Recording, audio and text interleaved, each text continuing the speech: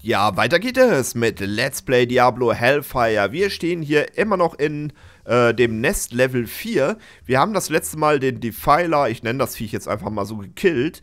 Ähm, also das Ding, was uns die ganze Zeit hier äh, zugesprochen hat, während wir hier hinabgestiegen sind. Wir haben die Defiler Quest nicht mehr. Ich glaube, die hieß so, ich bin mir nicht mehr so ganz sicher. Und, also wir haben noch diese, die, diesen Anvil of Fury für Griswold, glaube ich. Ähm, der, die Quest ist aber aus dem Hauptspiel, das heißt, wir müssten dann in Level 9, meine ich, wieder hinuntersteigen und dort weitermachen. Aber bevor wir das machen, werde ich noch, ihr seht schon, wir waren noch nicht überall, hier unten waren wir noch nicht drin, ähm, nochmal ein bisschen die Ausbrut der Hölle, wobei ich weiß nicht, ob die aus der Hölle kommen oder ob das, ob das einfach nur riesige mutierte Insekten sind.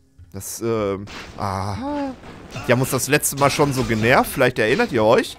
Die sind ziemlich nervig als Nahkämpfer äh, zu erwischen. Guck mal, die, die, die schlurfen hier weg. Und dann haut man und dann sind die wieder zwei Kilometer vor einem. Nein! Ach Gott, das ist doch nicht möglich. Mann, Horst, du bist... Ah. So, zack. Wir haben keine Heiltränke mehr. Ja, das ist besser, wir gehen wieder in die Stadt. Aber nicht hier. Horst, halte durch. Nicht treffen. Ne, natürlich lässt du dich treffen. Ach, wo ist der Aufstieg? Da vorne. Ich muss einmal ins äh, sichere... Dahin, das ist eine... Ne, das ist keine Sackgasse. Aber das sieht so aus wie eine Sackgasse. Das ist manchmal total komisch hier. So, warte mal, hier geht's hoch, ne? Jawoll. Hier ist es wieder schwarz. So. Dann wollen wir mal in die Stadt unseren Krempel verkaufen. Wir könnten nochmal... Ach, wir haben so... Was ist das denn hier? Cathedral Map? Was ist das denn? Das kenne ich gar nicht. Put me here. Warte mal, es ist doch vor der Kathedrale. Hier ist das Dorf, hier ist äh, Tristram, hier sind diese... Also hier ist Adria, die Hexe, und hier ist der Farmer. Und vor der Kathedrale ist hier ein großes... Ähm, äh, ein großer Grabstein. Das schauen wir uns gleich mal an. Aber erstmal, das sind so Standardsachen, die können wir verkaufen, ohne zu identifizieren. Ähm, wenn ich dann richtig gehen würde. So. Wow, what can I do for you? Die Brustplatte bitte einmal verkaufen und die Klinge. Sehr schön. Dann repariere uns bitte noch alles. So ein Repair All Button wäre auch nice gewesen, aber Soweit war man damals noch nicht, denke ich. Ah, daneben geklickt. So. Dabei habe ich noch nichts getrunken. so. Ähm, bevor wir das machen, räume ich mal eben kurz die Leiste hier unten auf. Ach nee, wir haben was zum Identifizieren. Nee, das haben... Doch, muss noch identifiziert werden. Und die Ringe, natürlich. Wie konnte ich das vergessen? Aber wenn wir jetzt schon mal hier sind, dann fülle ich eben meine Leiste auf. Ist mir eigentlich aufgefallen, dass wir so eine Map gefunden haben. So, ich kaufe natürlich wieder ein paar mehr. Für den extra Kick. So. Und dann lassen wir eben die Sachen identifizieren. Oh, 26 Stärke. Das ist cool.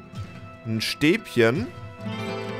Mit minus 6 Twitch-Chance und minus 59 Damage. Clumsy Stuff auf Search. Das ist komisch. Ähm, und hier haben wir ein, ähm, eine Magieresistenz von 46%. Die könnte man natürlich bei den Viechern unten gerade äh, mehr als gebrauchen. Ähm, was habe ich denn für ein Amulett? Ein Damage von, äh, von Energy, mein Gott. Äh, von Enemies. Ansonsten, äh, Lightning-Resistenz brauchen wir, glaube ich, gerade nicht, oder?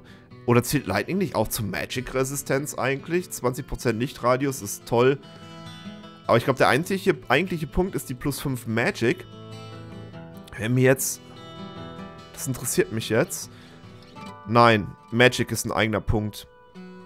Wenn ich jetzt wüsste, was die für einen Schaden machen. Ich werde es ich werd's verkaufen. Äh, für das Gold. Sell Items. Äh, erstmal das Amulett. Das Amulett der Titanen. Ach, den Stab müssen wir bei Adria verkaufen. Das mache ich eben schnell. So. Ich kann mir schon fast vorstellen, was mit der Map passiert. Die führt uns, weil wir jetzt vier Abschnitte im Nest gemacht haben. Das ist wie im Hauptspiel. Nach vier Abschnitten kommt das nächste ähm, Setting. Und ich denke mal, so wird das hier sein. So, den Clumsy Stuff. Natürlich gibt es nur ein Gold, weil das so ein Negativ-Item äh, ist, sage ich jetzt mal. So. Wir laufen wie so ein Alkoholiker hier durch die Gegend. So, dann wollen wir nochmal... Ich will da jetzt nicht ähm, groß weitermachen, aber ich will eben die Map einlösen. So. Hier irgendwo soll es sein. Hm. Ist es hier? Dieses große Grab. Aber da ist ja eigentlich so ein, ähm, so ein großer Grabstein gewesen. In Form eines Kreuzes.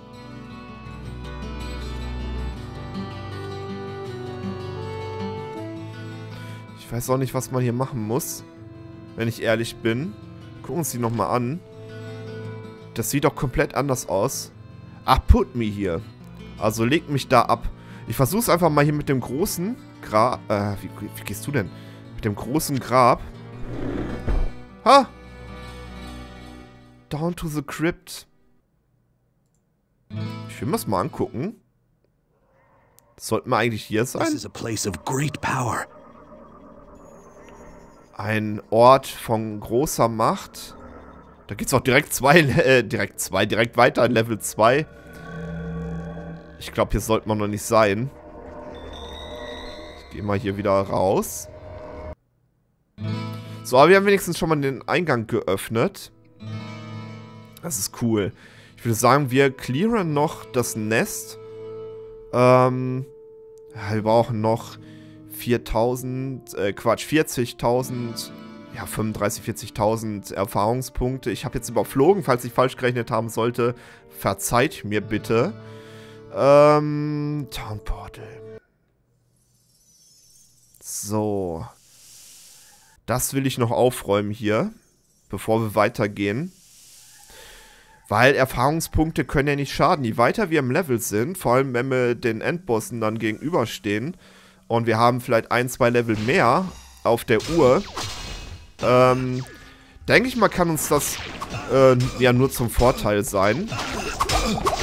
Ach, wir hatten dich doch fast. Nein? Ach Gott, Horst. Das ist blöd.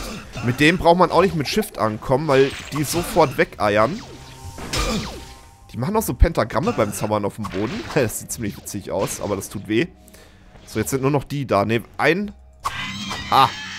Ein von denen noch. Na komm. So Tentakelvieh. So.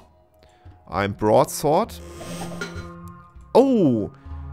Ich glaube, war das in dieser oder in der letzten Folge, habe ich mich noch gewundert, ähm, dass wir noch einen weißen Helm anhaben. Aber jetzt ähm, haben wir Erstmal einen gespeicherten Spielstand. Äh, jetzt haben wir ein Skullcap. Ah, nur mit 4. Das Ding hat 5. Okay, so viel Unterschied ist das jetzt nicht.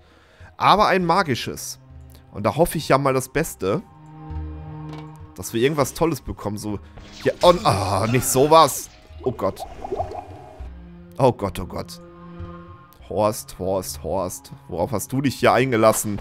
Das stand so nicht im Vertrag, als du hier hinabgestiegen bist. Die tun weh. Die sind zwar relativ schnell kaputt. Nein, wir machen erst die hier. Aber die tun so weh. Aber nach einem Schlag sind die, wie gesagt, kaputt. Das gleicht sich so ein bisschen aus. Wenn wir sie dann mal bekommen sollten, Ach, die gehen immer... Das Problem ist, die gehen immer weiter, man folgt denen und äh, läuft dann in Gebiete, die man vorher noch nicht erkundet hat und zieht dann noch mehr Gegner an und das ist so die Krux an der ganzen Geschichte. Ich weiß, dass es später in der Hölle, ähm, ist kein großes Geheimnis, äh, dass, dass da so richtig fiese Fernkämpfer kommen. Und da habe ich überhaupt keine Ahnung, wie wir denen gegenübertreten sollen. Aber ich denke, das war's mit dem Nest. Hier waren wir nämlich schon überall. Wir haben das Nest erkundet. Ich fand es noch ein bisschen schade, dass dieser Obermods hier... Wo liegt der? Warte mal, der hatte doch so gelbe Pixel um sich rum. Ähm... Dass der Obermacker hier nichts hat fallen lassen, was äh, von Wert ist. Da ist er. Also die Leiche. Aber hier ist nichts gedroppt. Guckt euch das mal an. Das ist, ich, ich meine, das ist der Boss hier von dem Nest. Und das Ding droppt einfach nichts. Oder haben wir eine Truhe übersehen? Ich gehe jetzt nochmal die, die obere Wand abklappern. Ihr seht auch, wir haben keinen Abstieg mehr. Das heißt, das Nest... Ach, da ist eine Chest. Das Nest ist hier zu Ende. Okay, nee. Ich glaube nicht, dass hier noch irgendwas ist. Hier hinter vielleicht noch, aber... Nee. Ich glaube, das war's. Ist ein bisschen schade, weil wir keine große Belohnung bekommen haben dafür, dass wir jetzt hier das Übel oder das Nest ähm, leergeräumt haben. Ich gehe mal auf den herkömmlichen Weg hoch. Was mir aber aufgefallen ist, es gibt hier keine Schreine scheinbar. Ähm, zumindest ist mir hier keins aufgefallen oder kein Schrein aufgefallen in dem äh, Hellfire-Gebiet. Vielleicht sieht das in der Krypta äh, ja anders aus. Ich weiß nicht, wann man die machen sollte. Vielleicht, wenn... Könnt ihr mal in die Kommentare schreiben, ab wann man dort hinab sollte. Ich habe halt nur gehört, dass man dieses Nest ähm, sehr gut... Da war doch gerade irgendwas, das so, das war der Abstieg. Äh, sehr gut zwischendurch machen kann, bevor man von Level 8 in Level 9 geht oder Level 9, Level 10, ich weiß es gerade nicht. Ach so, ich dachte, das war es zum Looten. Ähm, es war nur ein Ei, das wir jetzt zermatscht haben. Und ich weiß auch gar nicht, ob wir jetzt großartig ein Level abgemacht haben. Ich kann mich nicht dran erinnern, weil auch einige Pausen hier zwischen waren, die natürlich ähm, äh, ich verschuldet habe. Okay, jetzt sind wir wieder draußen. Sehr cool. Können wir mit dem Farmer nochmal sprechen? Hat er einen Dankesspruch auf den Lippen oder sowas? Vielleicht droppt er ja ein Item. Wo ist der? I heard the explosion from here. Many thanks to you, kind stranger. What with all these things coming out of the ground, monsters taking over the church and so forth, these are trying times. I'm but a poor farmer, but here, take this with my great thanks. Juhu, danke schön. Ein Auric-Amulett. Aber es ist weiß. Was tut es also? Oh, doubles Gold Capacity. Muss man das... I can't cast that here. Hm. Ich weiß nicht, wofür das ist. Na, egal. Muss ich mich mal offscreen ein bisschen mit befassen. Ähm... Wir haben auf jeden Fall eine Belohnung bekommen im Nachhinein. Ich renne schon wieder falsch. Ich muss noch einmal in den Stadtkern... Äh, Stadt ist ja... Ne, also Dorfkern. Ähm, haben wir irgendwas zu identifizieren? Ah ja. Unser Käppchen gibt uns Hitpoints. Ich glaube, die nehme ich mit. 35 Hitpoints. Ähm, das ist schon ziemlich viel. Also, ne, wenn man das mit unserem Maximalleben vergleicht. Damals gab es noch keine Millionen von Hitpoints. Da hat man sich mit 200 Hitpoints äh, zufrieden gegeben. Ich weiß nicht, wann die Zahlen so explodiert sind. Ähm. So. Ich ziehe lieber den an. Der sieht zwar schick aus, aber man sieht das eh nicht in der Darstellung. Man hat ja nur ein paar Muster. Ähm. Wir verzichten mal auf den einen Armor-Dingsy und äh, nehmen die 35 Trefferpunkte mit. Damit haben wir 213 maximal. Wow, Damit sollten wir einen kleinen Puffer haben, hoffe ich. So, jetzt verkaufen wir den ganzen Schund, unseren alten Helm, den reparieren wir auch gar nicht mehr. Warum da noch Geld reinstecken? Diesen Flame Dart, ich will den eigentlich nicht verkaufen, weil es ein gelbes Item ist, was eigentlich total dumm ist, den zu behalten. So. Okay. Hast du irgendwas? Nee. Welcome to the Tavern of the Rising Sun. Du hast auch nichts, ne? What ails you, my friend? Ach, warte, dann können wir uns hier wieder auffüllen. Bevor wir wieder aufbrechen, wir werden nicht in die Krypta gehen, denke ich, sondern ähm, den Pfad des Hauptspieles weiterfolgen. Erstmal. Ja, die Krypta sieht schon sehr gefährlich aus mit den ganzen Lavaschmieden-Zeug. Ja. Aber hilft ja nichts. Irgendwann müssen wir da hinabsteigen. Mit äh, wie vielen Toten das verbunden sein wird, weiß ich nicht. So, wir speichern hier einmal. Und steigen hinab in die Caves. So. Ah, hier sind auch viele Fernkämpfer, ne? Das hasse ich ja so an dem Spiel. Muss ich ganz ehrlich sagen. Warum kann das Spiel nicht aus Nahkämpfern bestehen? Oder warum hat der Nahkämpfer... Naja, es ist ja noch nicht so hart getrennt von... Also wir können ja Bögen benutzen bis zum gewissen Grad, wie uns... Äh, wie es die Geschicklichkeit zulässt, aber... Es ist doch eher mühselig. Deswegen äh, immer noch die Bitte, falls ihr irgendwie einen Tipp habt, immer her damit. So, mach ich mal Türchen auf für euch. So, einer nach dem anderen, bitteschön. Nummer ziehen nicht vergessen. Ja, Nummer zwei, bitte. So, Nummer drei. So, weiter kann ich nicht zählen. Okay. Das Trüchen hatte nichts... Ah, da geht's doch schon wieder los. Aber das sind zum Glück diese Dinger hier. Diese Giftbrünen-Spucker.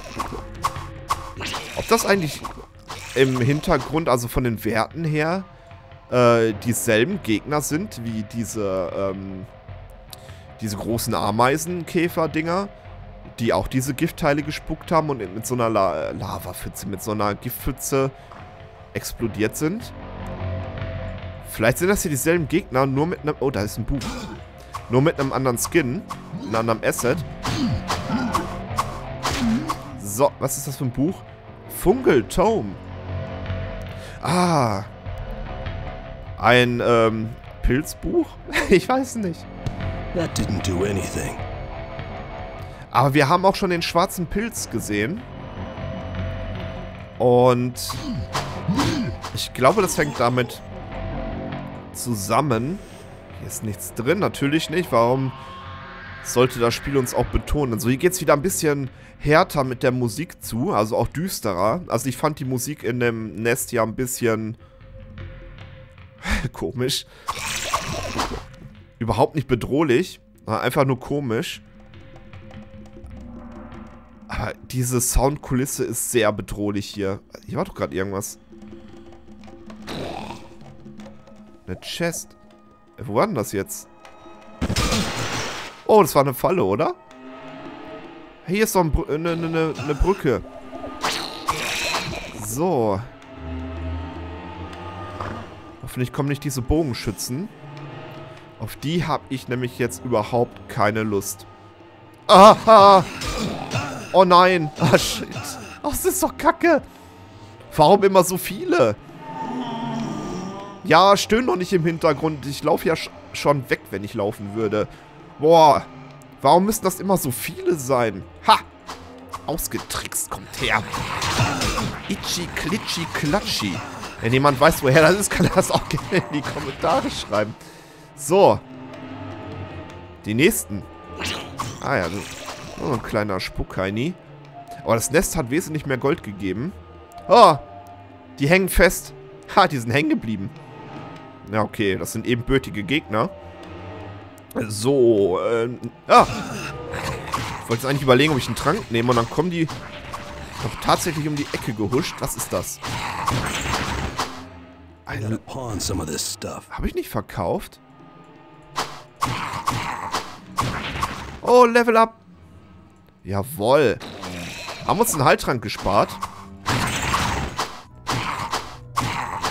Ja, ich weiß, hier ist ein Champion. Aber gut, dass er jetzt da ist. Du lässt doch bestimmt irgendwas Cooles fallen, ne? I can't carry anymore. Warhammer. so. Ah, wohin mit dem Gold?